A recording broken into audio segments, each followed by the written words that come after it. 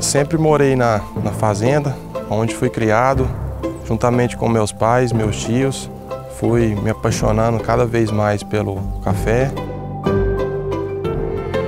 Bom, eu, eu tenho um desafio muito grande, que seria manter a mesma qualidade que o meu pai vem trazendo há longas décadas já.